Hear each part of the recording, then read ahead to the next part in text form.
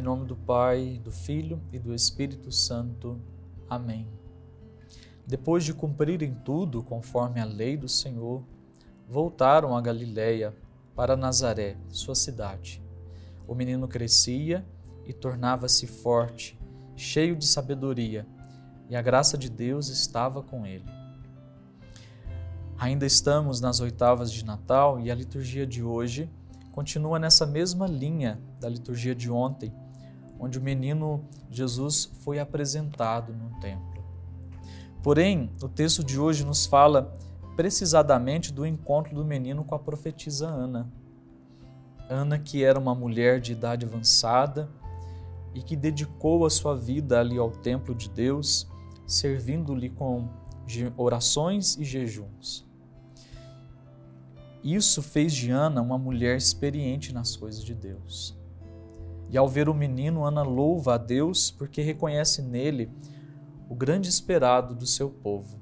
Ana, semelhante a Simeão, enxerga no menino o Messias, filho de Deus, e anuncia com a certeza de quem é uma pessoa vivenciada na fé.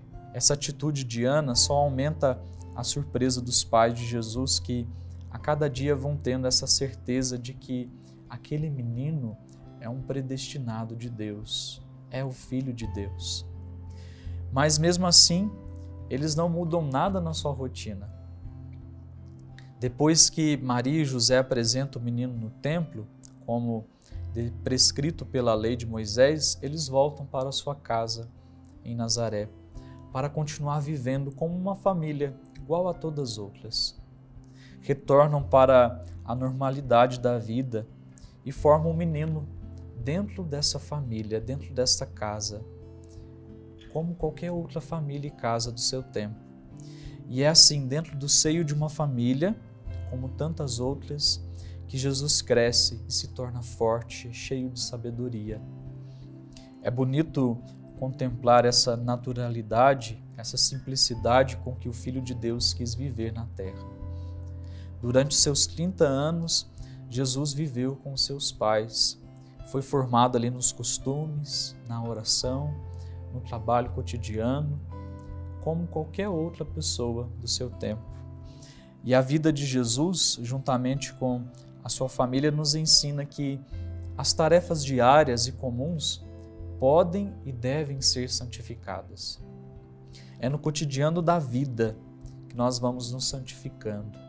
São nos atos corriqueiros, ali diários, que nós vamos trilhando o caminho da santidade.